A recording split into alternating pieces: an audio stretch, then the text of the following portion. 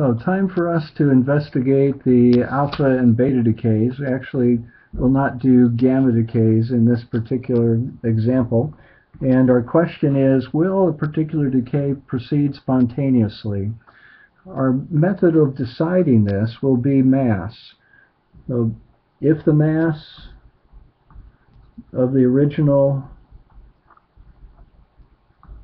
nucleus is greater than the mass of the products, then the uh, decay can be spontaneous. There'll be mass available to create the products and have some mass left over to give them kinetic energy. If there's more mass in the products in some proposed uh, decay, then uh, this will not be spontaneous. Uh, we would have to add some extra energy to the starting nucleus to allow mass to be created, uh, developed, um, exist in the uh, in the product. So our our situation is we need to go to a table and look up for this nickel 60, look up what the mass is, and we do that 59.930788 for the iron 56 55.934939 and these are in atomic mass units. The alpha 4.002603 the other thing to be aware of here these are the masses of neutral atoms. So this mass includes 28 electrons this mass includes 26 electrons this mass includes 2 electrons and that is fine uh, that the electrons are included here, even though we're considered nuclear events in this situation, uh, because we're going to be calculating mass difference. And we'll have 28 electrons in here in this number, the mass, 28 electrons in this number. When we subtract, then uh, the electrons uh, have no effect on the result. So our, our task is to first add these two masses, the iron and the alpha, and in doing that 59.937542 use. And now inspect. Uh, the starting mass 59.930 ending mass 59.937 there's more mass here. This is not spontaneous. There's not enough mass in the nickel to create the mass in the proposed uh, products here. So somebody suggests is this this might be a possible uh, alpha decay. We can say no, it's not going to happen in the real world. Uh, it's not spontaneous. Um, we don't have enough mass. So let's go to the next one, a beta decay. And this one we have cobalt 60 uh, becoming nickel 60, and then the beta coming off here and page is a little bit incomplete, antineutrino in this normal beta decay. Um, so again, we go to a table and look up the masses, our cobalt 60, 59.933819. The nickel 60 is 59.930788. And well, what about these two, the beta and the antineutrino? Let's talk about the antineutrino first. They're almost zero mass, and their mass is uncertain, but it's on the order of 2 times 10 to the minus 10 atomic mass units.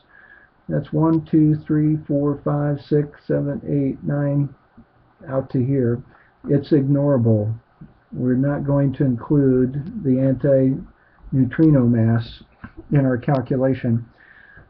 Over on the, the cobalt 60 has 27 electrons. That's the uh, number of electrons used to when we find this mass.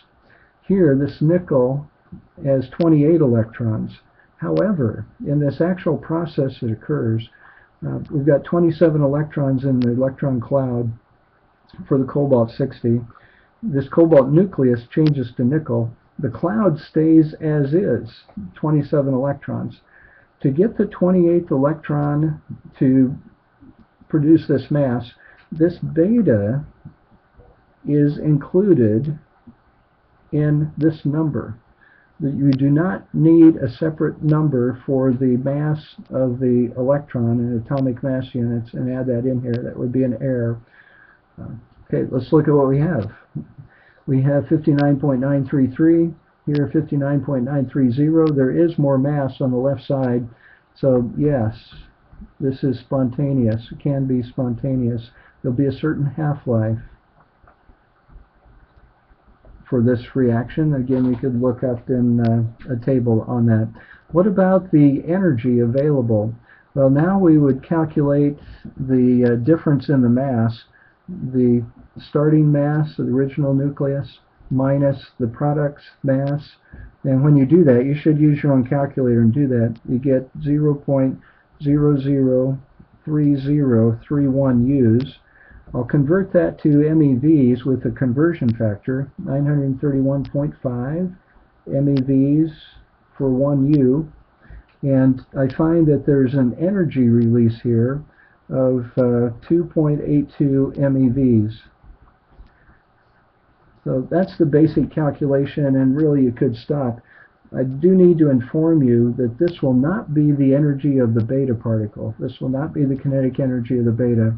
Um, in the action here of this beta decay, the nickel atom, nickel nucleus that is uh, created, is produced, or becomes into existence, nickel, uh, with the 28 protons, uh, is excited. It's going to have protons and neutrons in upper energy levels, and they emit uh, gamma rays that decay uh, with, again, some half-life but that is uh, a significant portion of this total energy. Uh, so the beta decay will actually have less than this. Also, the antineutrino uses up some of this supply of energy. So the kinetic energy of the beta, we're not going to go into the details, but it'll be less than 2.82 MeVs. Significantly less. You can find that in the table.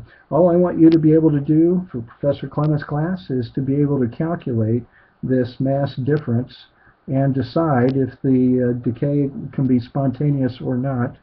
In this case, it was. It can be spontaneous. It can occur naturally because we have more mass in the starting nucleus than we have in the products. And then be careful. Uh, there's 27 electrons in this uh, number. This nickel that's produced has 27 electrons after the reaction occurs. The beta allows us to get 28 electrons that we need for this number from the table.